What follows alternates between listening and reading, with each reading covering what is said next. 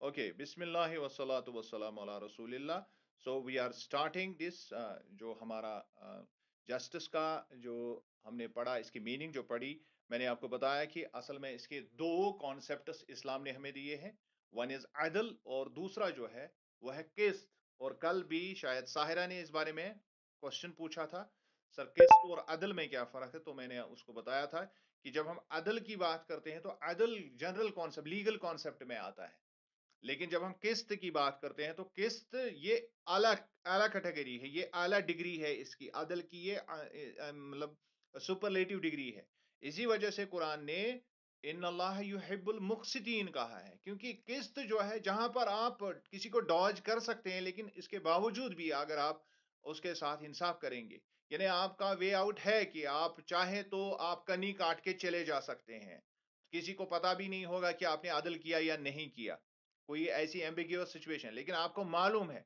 और आपको जो मालूम है और आप सोच रहे हैं कि नहीं, अल्लाह को भी मालूम है, इसलिए मुझे इसके साथ ये इंसाफ करना है, ये इसका हक है। हालाँकि उसको पता नहीं है कि मेरा हक था तो उसको भी मुकसित में रखा गया है। और इसी तरह जो किस्त जो है, ये असल में आपका इंटेंशन आप इंटेंशन आपके अदल के बारे में क्या है? और आप यहाँ से ही किसी को छूट दे रहे हैं। बहुत सारी चीज़ों पर आप कंप्रोमाइज कर रहे हैं। ये सारा कॉन्सेप्ट किस्त के अंदर आ जाता है। दैट इज़ वाई की it has been applauded by almighty तो इसको इन मुक्सिटीन का लफ्ज कुरान ने इस्तेमाल किया है। जबकि आदिलीन का लफ्ज इस तरह से नहीं है। अदल के बारे में हुक्म है कि आप अदल इंसाफ से काम लो लेकिन मुक्सितीन के बारे में अल्लाह ने कहा है कि मैं उनको पसंद करता हूँ मैं उसको उन, उनको उनके साथ मोहब्बत करता हूँ। सो अल्लाह हमें भी मुक्सितीन में जगह दे इनशाला तो आज हम अब अदल की इंपॉर्टेंस पढ़ेंगे। Justice in Islam is both an ethical value and a part of Islamic law क्योंकि जो इंसाफ जो है या अदल जो है, ये इस्लामिक इथिकल वैल्यूज़ जो हमारा, जो मॉरल स्ट्रक्चर इस्लाम का है, ये उसका भी हिस्सा है, इस्लामिक लॉ का भी हिस्सा है। यानी जो हमारा इथिकल वैल्यू है उसमें भी आता है लेकिन दूसरी तरफ़ से इस्लामिक लॉ में भी आता है। मॉरली भी हम जस्ट होने चाहिए और जब इस्लामिक शरीय की बात आती है वहाँ पर भी हमें अदल इंसाफ कायम करना है। यानी दोनों एस्पेक्ट इसमें शामिल है। Therefore, it has direct impact on both individual self and collective nature of society. लिहाजा जाहिरी तौर पर क्योंकि जब हम इथिकल वैल्यूज़ की बात करते हैं तो वो इंडिविजुअल सेल्फ तक महदूद होते हैं। यानी मैं अपने आप को इस बारे में इस, इस इसके लिए अपने आप को मैं जिम्मेदार ठहराता हूँ कि मेरी तरफ़ से किसी के साथ नाइंसाफी ना हो। तो ये ये सेल्फ रेस्ट्रेनिंग मॉरल वैल्यू है वहाँ इस्लाम इस्लामी नुक़ निगाह से। दूसरा है तो हो गया ये इंडिविजुअल लेकिन कलेक्टिव लेवल पर कि, किस तरह है ये? कलेक्टिव लेवल पर इस तरह की ये लीगल सिस्टम है। अगर कोई नाइंसाफी समाज में देखी जा रही है तो उसके खिलाफ हम कोर्ट में जा सकते हैं। तो ये दोनों एस्पेक्ट्स को कैटर करता है। दोनों एस्पेक्ट्स इसमें आ जाते हैं। इंडिविजुअल भी आता है और कलेक्टिव भी यानी सोसाइटल जिसको हम कहते हैं यानी सोसाइटी के साथ जो रिलेटेड हमारा जो उन, उस, उसके साथ जो हमारा रिश्ता है रबता है वहाँ पर इसका लीगल सिस्टम इसको ऑपरेट करता है। इंडिविजुअल लेवल में मॉरल सिस्टम, इस्लाम का मॉरल सिस्टम इसको ऑपरेट करता है, यानी इंडिविजुअल कैपेसिटी में भी आपको इंसाफ पसंद होना चाहिए। और लीगल सेंस में भी इसको इनकॉर्पोरेट किया है इस्लाम ने, शरिया में इस्लाम इस्लाम ने इसको इनकॉर्पोरेट किया है। लिहाजा आप कलेक्टिव लेवल पर भी आपकी ज़िम्मेदारी बनती है कि आप ना इंसाफी ना करें। So So, Islam commands the mankind in general and believers in the particular to maintain justice in every aspect of life लिहाजा इस्लाम दोनों तरफ़ से। जनरली भी लोगों से कहा गया है कि आप अदल को कायम करो। आप मुकसितीन में से हो जाओ। आप किस्त को कायम करो। और जब हम पब्लिक लाइफ में आते हैं तो वहाँ पर कैटेगोरी के लिए कहा गया है कि अगर कहीं पर नाइंसाफी है तो उसके खिलाफ आप खड़े हो जाओ। और इंसाफ दिलाओ लोगों को तो वहाँ लीगल सिस्टम में ये आ जाता है। The Quran views itself as a scripture devoted mainly to laying down the principles of the faith and justice. और अब अगर आप दूसरे दूसरे तरीके से अगर आप देखेंगे जैसे मैंने पहले भी आपको बताया कि कुरान ने जब हम मीनिंग में इसको पढ़ रहे थे कुरान ने आ, हमें ये बात समझाई है कि अल्लाह ने क्रिएशन का एक वजह यह बताया है कि मुझे दुनिया में अदल इंसाफ कायम करना था that is why I created the universe लिहाजा ये बात कितनी अहम है कि जो जो जो ओरिजिन है यूनिवर्स का जो ओरिजिन है, उसकी एक वजह यह भी है कि कायनात में अदल इंसाफ कायम हो जाए। ये अदल होता क्या है, इसको नोन करने के लिए क्रिएशन दुनिया में आई। सुबह अल्लाह, ये, it's it's a very emphatic statement of holy Quran और यहाँ पर जब हम स्क्रिप्चर की बात करते हैं, यानी जो हमारी इस्लामी तालीमत है, जो कुरान है, या इसके अलावा जो हमारे पास अहादीस है, या सुन्नत का, सुन्नत जो रसोल्लम के तरीके हैं the Quranic view itself as a scripture devoted mainly to laying down the principles of faith and justice. इसमें अगर आप देखेंगे जो इस, कुरान जो है it views itself as a scripture devoted mainly to the justice दो ही चीज़ें हैं। कुरान ने अपने आप को ज़ाहिर ही इसीलिए कर दिया है। कुरान ने अपना काम ही यही बताया है कि मुझे या तो लोगों का अकीदा ठीक करना है या दुनिया में इंसाफ कायम करना है। यानी ये बड़ी इंतहा दर्जे की बात है। So for as justice the concept of justice in Islam is concern इसको आप समझ लीजिए, इसको आप इंटरनलाइज करिए कि कुरान कहता है कि कुरान कहता है कि ये ऐसा स्क्रिप्चर है, ये ऐसी किताब है, जिसका काम ही, जिसके बेसिक बुनियादी दो उसूल असल में यही है। क्या है? नंबर वन कि लोगों का फेथ लोगों का अकीदा दुरुस्त किया जाए। और दूसरा, कायनात में जस्टिस कायनात में इंसाफ को अमली जामा पहनाया जाए। ये कुरान का मकसद कहा गया है। वहाँ पर जब हम देखते हैं कुरान का ही स्टेटमेंट है कि अल्लाह ने कहा है कि क्रिएशन का मकसद यह है कि मैं दुनिया में जस्टिस कायम करूँ, मैं दुनिया को समझाऊं, इसको मैं अनोन कर दूँ तो पूरी दुनिया को, इसको इसको ज़ाहिर कर दूँ दुनिया पर। और यहाँ पर कुरान जो है, ये अपने आप को इस तरह से प्रोजेक्ट करता है दुनिया दुनिया दुनिया के लोगों के सामने कि ये एक ऐसा स्क्रिप्चर है जो दुनिया में दो ही चीज़ों के पीछे है। या तो आप दुनिया में अपना जो फेथ है अकॉर्डिंग टू कुरान उसको एक्सेप्ट करें और दूसरा, पूरी दुनिया में, पूरी कायनात में आप जस्टिस को, इंसाफ को कायम करें So the Quran demands that justice to be met for all and it is an inherent right of all beings under Islamic law.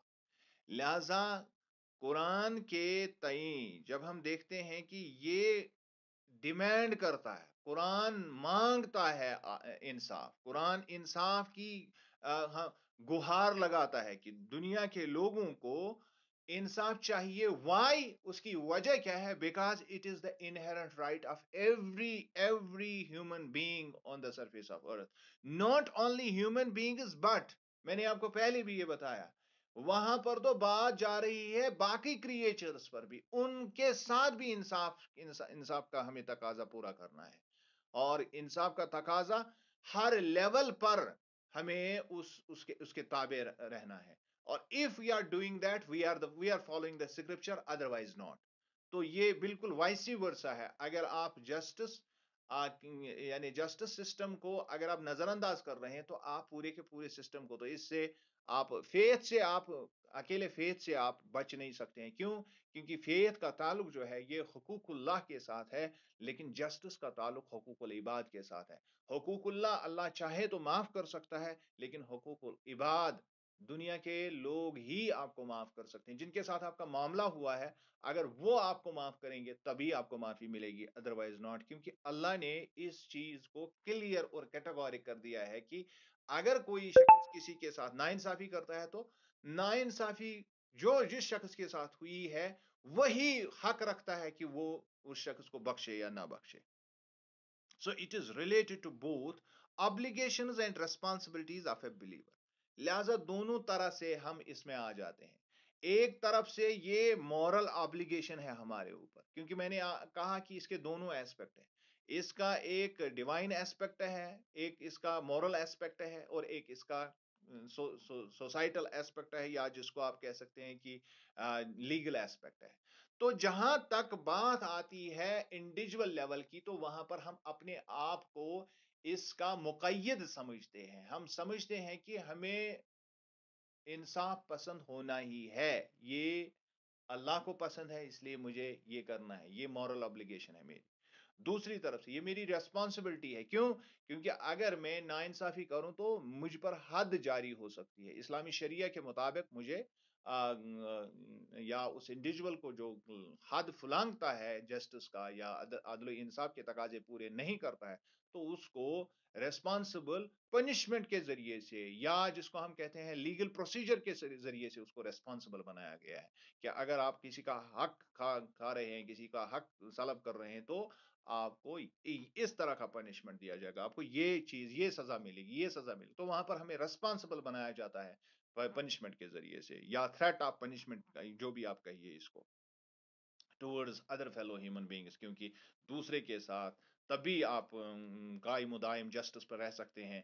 जब आपके ऊपर थोड़ा सा मॉरली तो आप इसके लिए इंक्लाइनड है, अगर आपका ईमान सही है, तब जाके आपको शरिया की लीगल सिस्टम आपके लिए ज़्यादा अहमियत नहीं रखता है। यानी एक शख्स खुद से ही ये समझता है कि मुझे जस्ट होना चाहिए, मुझे इंसाफ पसंद होना चाहिए, मुझे हामिल अदलिया होना चाहिए।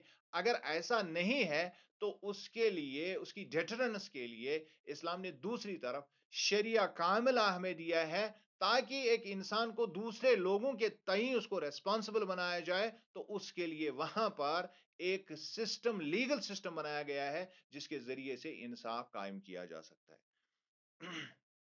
So, quran considers justice to be a supreme moral virtue and an attribute of human personality. और कुरान ने को मुख्तलिफ़ जावियों से हमें समझाने की कोशिश की है और कुरान इसको आला पाए का, आला दर्जे की इखलाकियात में शुमार करता है जस्टिस को।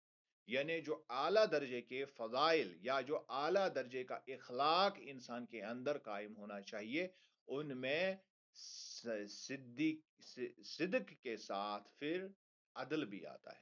और जिस जिस शख्स के अंदर अदल नहीं है तो सीधी सी बात है कि it actually tells upon his another quality जो है सिद्क, यानी वो ट्रुथफुल भी नहीं हो सकता है। क्योंकि ट्रुथफुल होने का मतलब ही यह है कि इंसाफ, अदल इंसाफ कायम करे।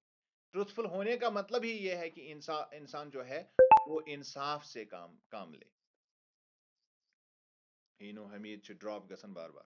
So moral virtues and and an attribute of human personality इतना ही नहीं है कि ये हमारा मॉरल वर्च्यू है, लेकिन इसके साथ साथ इट इज़ समथिंग एल्स ये हमारा एक तरह से एक सिफत इंसान की बताई गई है। यानी जो जो शख्स इससे आरी होगा, जिसके पास अदल इंसाफ नहीं होगा तो वो शख्स जो है, उसकी ह्यूमन पर्सनैलिटी जो है, नामुकम्मल उसकी ह्यूमन पर्सनैलिटी मुकम्मल नहीं है। It has been among the principles of the mission of prophets and their important goal and duty और दूसरी चीज़ दिमाग में ये रखिए कि ये कायनात में वजह बनी है अम्बियाई किराम के आने का। पहले हमने कहा कि अल्लाह ने कहा है कि क्रिएशन का मतलूब, मकसूद यही है कि मैं दुनिया पर ज़ाहिर कर दूँ अदल को। इंसाफ को दुनिया में कायम करूँ, इसको नोन कर दूँ, पूरी दुनिया इसको जान ले कि अदल इंसाफ क्या होता है। फिर यहाँ पर यह कहा गया कि कुरान अपहोल्ड्स इटसेल्फ कि ये फेथ और अदल को कायम करने के लिए दुनिया में आया है। अब यहाँ पर प्रॉफिटस के मिशन और उसके बाद हमने देखा कि ये ह्यूमन बींग्स का एट्रीब्यूट है। ये इंसान के लिए उस उसकी आला तरीन सिफत है। अब अगर इंसान में ये सिफत पाई नहीं जाती है, वो अदल से काम नहीं लेता है तो वो ह्यूमन बींग्स उनके बारे में कहा गया है, कला नाम बल हम अदल उलाई गाफिलून।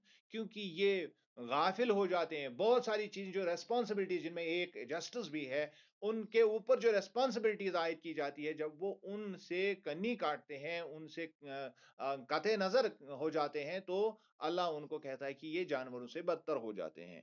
और उसके बाद अब जो चौथी चीज़ हमारे सामने आ गई कि चौथी चीज़ ये है कि ये प्रॉफिट्स का मिशन था। दुनिया में वो उनकी उनकी उनकी बासत इसी वजह से हुई ताकि दुनिया में अदल इंसाफ कायम हो सके। I repeat it. मैंने यहाँ यहाँ पर जो आपको आपको समझाई चार चीज़ें मैंने समझाई इंसाफ के बारे में पहली बात कि क्रिएशन का मकसद ये बताया गया है कि इंसाफ को नोन किया जाए इंसाफ को दुनिया में कायम किया जाए इसी वजह से क्रिए यानी It is one of the reasons of the creation of the universe. It is one of the justice is one of the reasons of the creation of the universe. और दूसरा कुरान अपहोल्डर्स की कुरान कहता है कि मैं दुनिया में इसीलिए मे, मेरा मकसद दुनिया में सिर्फ़ दो चीज़ें हैं one is faith one is justice तो हो गई दो। तीसरी बात कि ये ह्यूमन ह्यूमन बींग्स का हाई क्वालिटी एट्रीब्यूट है कि इसके बगैर इंसान को इंसान हम कह ही नहीं सकते हैं। और चौथी बात कि पैगंबर इसीलिए मबूस हुए ताकि दुनिया में अदल इंसाफ कायम किया जा सके। अब अगर कहीं पर भी अब नाइंसाफी हो रही है तो हम अपने आप को फिर कह सकते हैं कि कहाँ के मुसलमान हैं। चाहे वो किसी के साथ भी और कुरान ने बिल्कुल वाजह किया है कि अदल इंसाफ का दामन आपको नहीं छोड़ना है। चाहे वो आपको अपने माँ बाप के खिलाफ जाना पड़े अपनी सोसाइटी के खिलाफ जाने अपने रिश्तेदारों के खिलाफ जाना पड़े ये क्लियर और कैटागोरी कहा गया है। This is the crux of Islam this is this is actually Islam और जो हम वो आ, जो जो जो बातें हम सुनते हैं अल्लाह माफ़ फरमाए कि मतलब सुशो आसन हौच पौच तो असल बात जो है, ये असल तालीमत है कुरान की। We have to understand this thing और if we are not able to understand this thing तो फिर अल्लाह ही हाफिज है। फिर हम डिस्टॉर्ट कर रहे हैं इस्लामी, इस्लाम की मैसेज को। मैं ये चार चीज़ें एक मरतबा फिर दोहराऊँगा ताकि आपके दिमाग में ये रहे। इंपॉर्टेंस में ये चार ही चीज़ें अगर आप लिखेंगे, ये काफ़ी है। पहली चीज़ की कायनात की वजह बताई गई है। कायनात की क्रिएशन की ये वजह बताई गई है कि दुनिया में इंसाफ को ज़ाहिर करना था तो अल्लाह ने इसको, कायनात को बनाया। दूसरा कि कुरान अपहोल्डर्स की ये कुरान इसलिए दुनिया में आया है कि वो दुनिया में सही अकीदा की तरवीज करे और दूसरा इंसाफ को कायम करे। फिर तीसरा जो है कि इंसान को इंसान जो जो सुप्रीम मॉरल वैल्यू जो बाकी जानदारों में नहीं है, उसको मिला है, जिसकी वजह से वो इंसान है, वो है अदल इंसाफ का तकाजा पूरा करना। ये इंसान की खासियत है, आला आला दर्जे की खासियत है। और चौथी बात प्रॉफिट्स का जो मिशन था, उनके मिशन का बुनियादी गोल, उनकी ड्यूटी, उनके फ़र्ज़ मनसबी में शामिल ये था कि दुनिया में इंसाफ कायम किया जा सके। अब इसके अलावा और क्या? यही चार चीज़ें हमारे सामने हैं और यही चार चीज़ें सिर्फ़ और सिर्फ़ हम देख रहे हैं कि ये सिर्फ़ और सिर्फ़ इंसाफ के लिए रखी गई है, इंसाफ के लिए इनको। कायनात बनी है इंसाफ के लिए, कुरान आया है इंसाफ कायम करने के लिए, इंसान को इंसान बनाया है इंसाफ के लिए और पैगम्बरों को भेजा गया है इंसाफ के लिए। इसके अलावा हम क्या कह सकते हैं? इसके अलावा हम क्या क्या कह सकते हैं इसकी इंपॉर्टेंस में? तो अगर आप सिर्फ़ इतना ये जो चार पॉइंट चार नुकते अगर आप समझ गए it is enough for you you can actually answer everything अब आप हर चीज़ का जवाब दे सकते हैं, क्योंकि जब ये वाली चीज़ आपके दिमाग में आ गई तो इट्स एनफ इट अगर यहाँ तक कोई सवाल है तो आप पूछ सकते हैं। कोई भी सवाल अगर यहाँ पर दिमाग में आ जाए तो आप पूछ सकते हैं सवाल।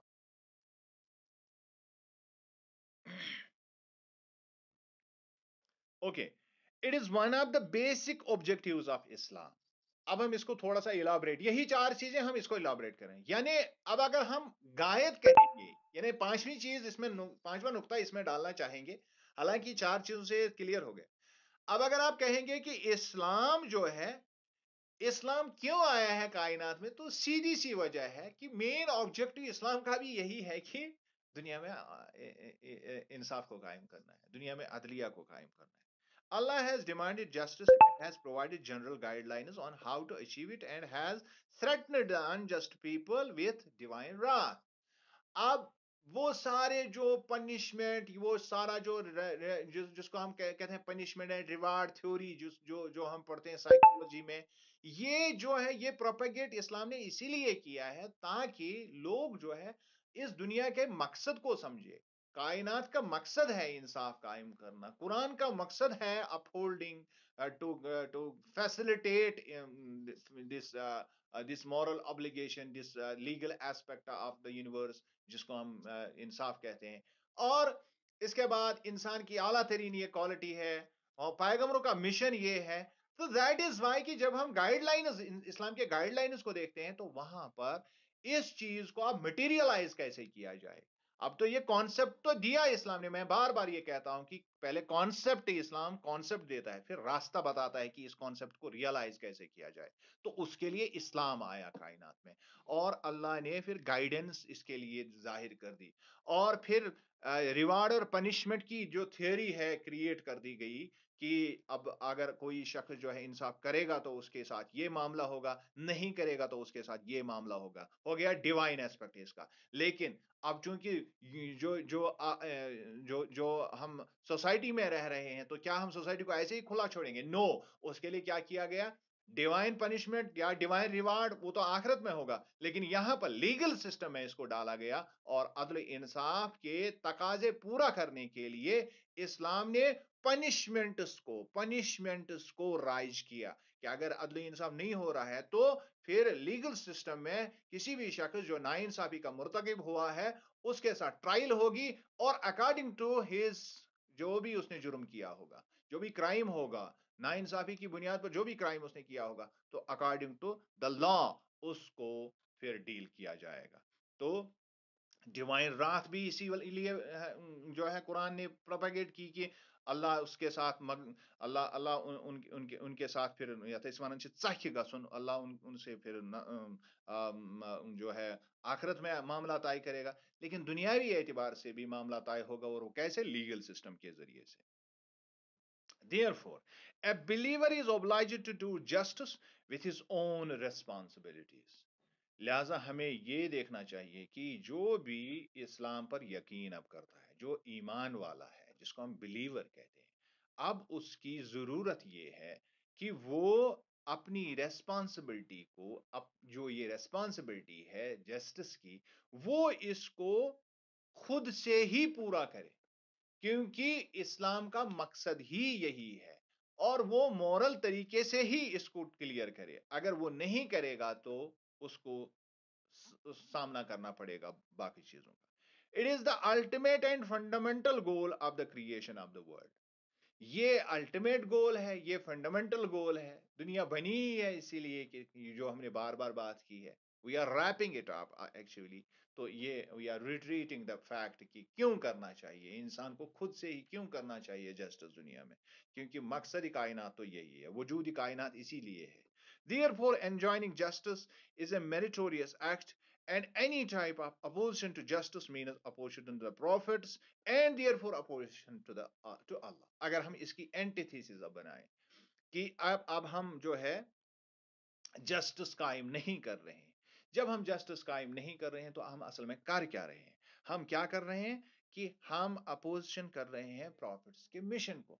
हम अपोजिशन कर रहे हैं क्रिएशन क्रिएशन की। हम अपोजिशन कर रहे हैं इंसान के आला अखलाक की, आला अकदार की, जब हम इन चीज़ों की अपोजिशन कर रहे हैं तो अल्टीमेटली हम किसकी अपोजिशन कर रहे हैं? We are opposing actually the law of Allah we are opposing actually directly Allah और अल्लाह हमें इस इस बात से जो है महफूज रखे कि हम अल्लाह की अपोजिशन में आ जाएँ और किसकी मजाल है कि अल्लाह की अपोजिशन में आ जाए? और जो अपोजिशन में आता है, उसका हाल क्या हो सकता है? You can understand it from the tenets of Quran so who is the embodiment of real justice that is why कि एक सिफत, अब हम असल मकसद पर पहुँच गए कि एक सिफत जो है, अल्लाह ने खुद अपनी बनाई हुआ अल्लाह ने अपना नाम रखा है। सिफात में से एक सिफत अल्लाह का है कि वो आदल है, वो इंसान अल्लाह अकबर। तो इसके बाद आगे क्या है? अब तो आदल आपके दिमाग में, मुझे लग रहा है कि छाया हुआ होगा कि अदल कितना इम्पोर्टेंट है। इसकी कितनी इम्पोर्टेंस है इस्लाम में। हम कर ही नहीं सकते हैं, इसके खिलाफ कोई काम ही नहीं कर सकते अगर हम करेंगे तो खुद ब खुद हम अपने आप पर फतवा लगाएँगे। कोई किसी पर फतवा दे या ना दे, लेकिन हम खुद ही अपने ऊपर फतवा सादिर कर देंगे कि no no no no I am not in the fold of Islam अगर मुझसे कोई गलती सरजत हो जाए सो फार अदल इज़ कंसर्न वहाँ पर जब हम सिदक की बात करते हैं, वहाँ कहा गया, कोनो मैं सौदिकीन? लेकिन यहाँ कहा गया इन युहिब्बुल मुक्सितीन। There is difference there is difference वहाँ पर कहा गया कोशिश करो कि आप सादिकीन में से हो जाओ। लेकिन यहाँ कहा गया है कि अल्लाह के अल्लाह को अगर अपने आप को पसंदीदा बनाने बनाना चाहते हो तो फिर अदल कायम करो। We may conclude that justice is an obligation of Islam and injustice is forbidden. हम सीधे अल्फाज में ये कह सकते हैं कि जस्टिस जो है ये ऑब्लिगेशन है ये फराइद में शामिल है और इनजस्टिस जो है ये खुरुमात में से ये हराम चीज़ों में से है। आप ना इंसाफी कर ही नहीं सकते हैं। The centrality of justice to the Quranic value system is displayed by the following verse. अब अगर आप पूरे इस सारे को कन्फाइन करके एक आयत से इंटरनलाइज करने की कोशिश करेंगे तो वो आप इस आयत से कर सकते हैं। जो जिसकी मीनिंग uh, जो है वो ये है। वी सेंट आवर मैसेंजर्स गौर से सुनिए we sent our messengers with clear signs and sent down with them the book and the measure in order to establish justice among the people. Allahu Akbar. We sent our messengers, prophets दुनिया में लाए गए with clear science ये सारी की सारी जो उनको आयात मिली जो उनको निशानियां मिली जो उनको मिराकल्स मिले एंड द बुक जो उनको दी गई, जो भी किताबें उनको दी गई and the major in order to establish justice और जो मेज़रमेंट का जो जो क्राइटेरियन उनको दिया गया, जो जो जो दुनिया को परखने का जो अंदाज उनको दिया गया, जो वदीयत किया गया, उसका एक ही मकसद है, उनकी बासत का मकसद यही है, कुरान का मकसद यही है कि दुनिया में जस्टिस कायम की जाए। कुरान सतावनवी सतावनवी सूरत की पच्चीसवीं आयत को घर में देखिए इसको इंटरनलाइज कीजिए और फिर आप असल क्रैक्स जो है इसकी समझ में आ जाएगी The phrase, our messengers, shows that justice has been the goal of all revelation and scriptures sent to humanity. यहाँ से हम एक और बात को भी पहले भी मैंने बताया कि ये मिशन था प्रॉपर्टिस का ये क्रिएशन का असल फंडा यही है क्रिएशन इसीलिए बनी है कि कायनात में जस्टिस कायम हो और इंसान को आला तरीन जो ये अकदार मिले हैं, इसी वजह से कि वो कायम करे अदल को। और इसी तरह प्रॉफिट्स को भेजने का मकसद ही यही है। तो अब जब यहाँ पर पहुँच के हम ये भी समझ सकते हैं, जब अल्लाह ने कहा कि आवर मैसेंजर्स जो मेरे तो इसका मतलब है जो भी, और उसके बाद बुक्स का कहा गया। तो सीधी सी बात यह है कि ह्यूमैनिटी में रेवलेशन उतारने मकसद ही यही है। इसी वजह से कुरान ने अपहोल्ड किया है कि मेरे मेरे दो ही काम है कि मैं फेथ और मैं इसको दुनिया में राइज करूँ, इंसाफ को।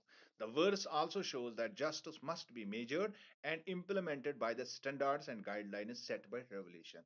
लेकिन एक चीज़ का ख्याल हमेशा इंसान को कि इंसाफ का तकाजा पूरा करने के लिए हमारे पास जो पैमा है इसका जो मेज़रमेंट इसका है that is the book that is the law of Allah you can not say that I have done justice by actually exceeding by proceeding Quran अगर आप इसको एक्सीड कर रहे हैं, इसको प्रोसीड कर रहे हैं, या अल्लाह की, अल्लाह के जो एस्टेब्लिश लॉज हैं, उनको आप प्रोसीड कर रहे हैं, उनको आप एक्सीड कर रहे हैं तो ऐसी सूरत में वो इंसाफ नहीं होगा, वो फिर जुल्म ही होगा, क्योंकि तकाजा जिसने हमें किया है, वो है अल्लाह और पूरा करने का तरीका भी अल्लाह ही बताएगा। It's not our prerogative it's the prerogative of Allah जो हमें बता रहा है कि आपको जस्टिस कायम करनी है। कैसे करनी है, वो भी बता दिया है। किसके ज़रिए से बताया? उसके लिए एक लंबी चेन प्रॉपर्ट्स की लाई और उनको खुद गाइडेंस दी।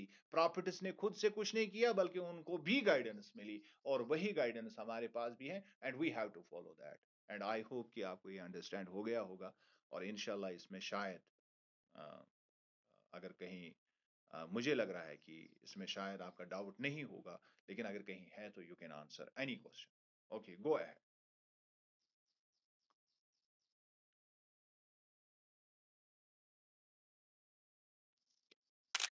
yes. Any queries?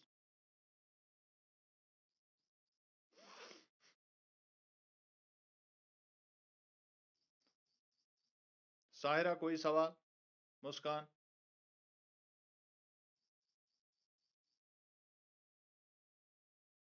सायरा कुछ पूछना है?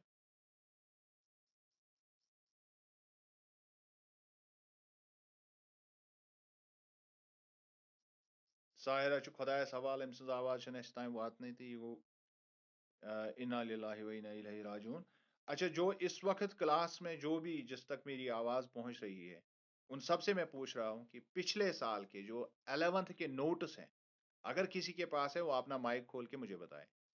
एलेवंथ के नोट्स